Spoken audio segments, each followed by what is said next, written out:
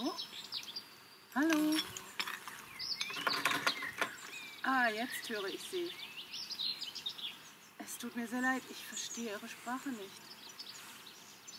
Könnten Sie vielleicht noch eine andere wählen? Können Sie nicht. Sehen Sie, das habe ich verstanden. Das wieder nicht. Schade.